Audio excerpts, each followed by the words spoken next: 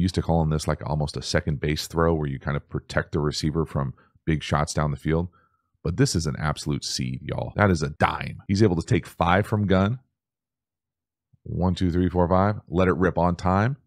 And just the arm strength. And again, the ball location, protect your guy right on him. Big time catch as well.